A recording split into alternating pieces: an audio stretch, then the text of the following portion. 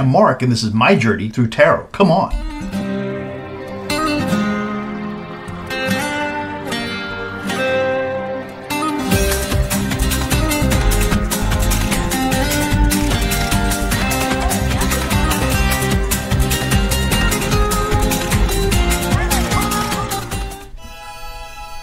So let's go through the list. These are the Kamala Harris vice president picks. We're going to do them one or two a day as I start to learn who they are. And so I'm looking at the list right now. Josh Shapiro is the uh, governor of Pennsylvania.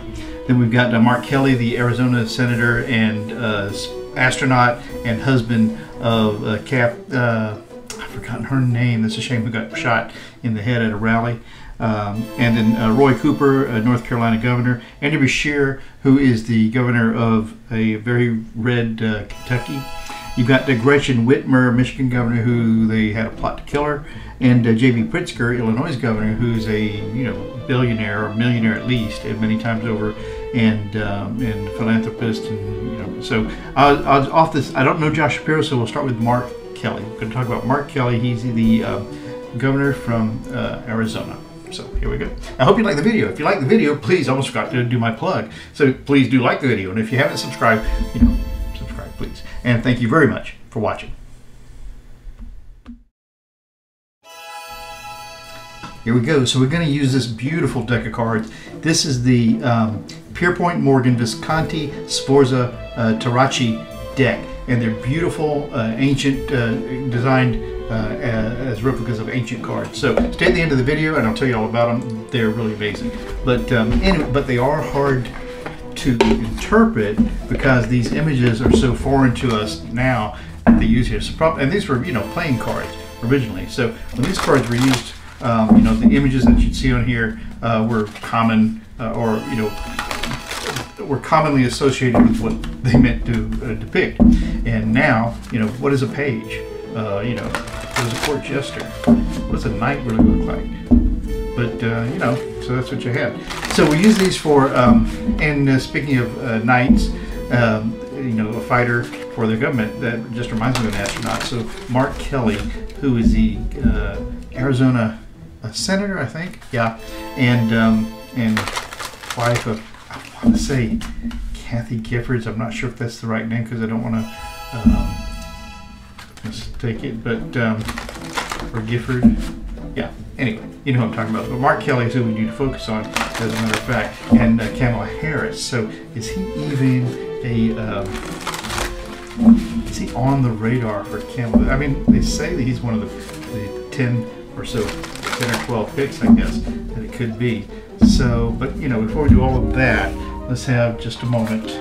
You know, like I always do, a meditation.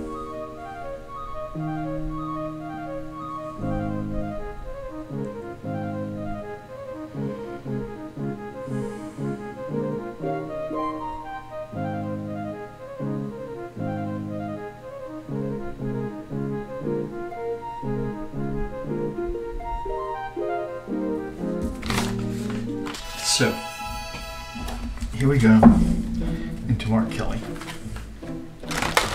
Amazing story, as a matter of fact. You know, a hero already uh, stands by his wife, uh, takes becomes her voice in the Congress where she was already. And so, beautiful story. So, we need not to know so much about him, but we really need to know about um, Kamala Harris in picking him. So let's see, is he going to make it into the top three? That's how he'll do it. He'll, will he eventually make it, because it has to be that kind of elimination process, doesn't it, uh, in, internally? So let's get three cards out of here for, for Mark Kelly, whether he gets to the top three.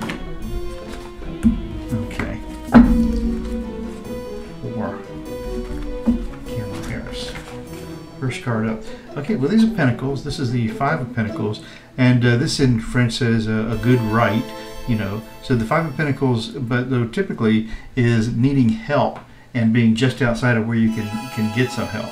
Um, so um, the five of pentacles is um, a bit hopeful, but almost uh, a, a, bit hopeful. There's help right there if you can get it. So it starts out with that as far as uh, being the top three.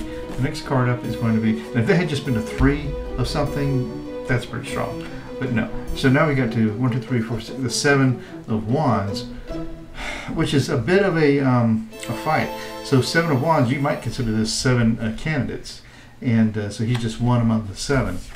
And then, um, so the nine of cups is wanting to really be proud of your uh, you know emotional achievements which he is so this is kind of what we've got going for him his his energy his value right now is is is wanting it's lacking it's needing something more. If you can imagine someone with that kind of a, a resume uh, needing some more but there's something lacking in his his value. But it's right there within grasp. He can step inside and, and get it. So he's got an element here that he can get. But with the uh, Seven of Wands, it's still a fight against all these other equally fierce uh, wands.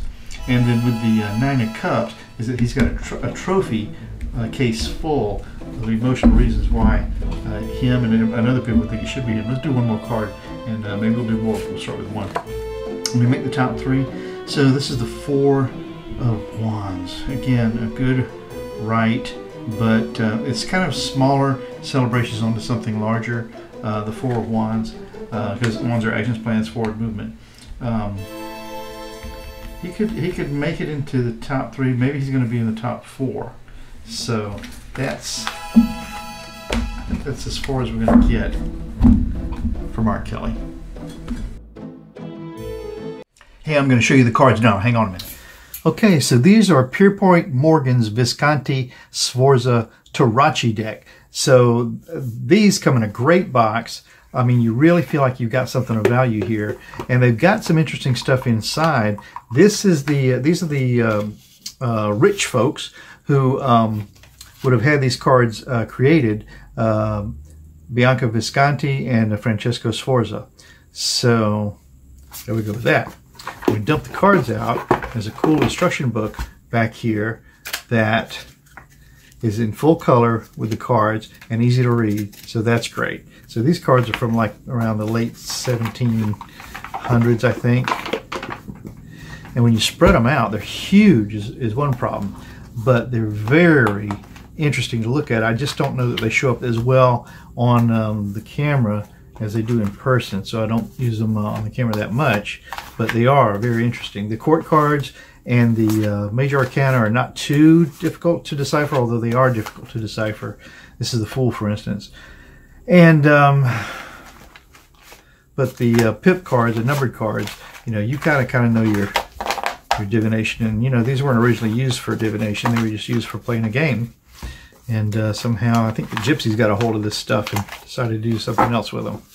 But uh, these will give you a run for your money.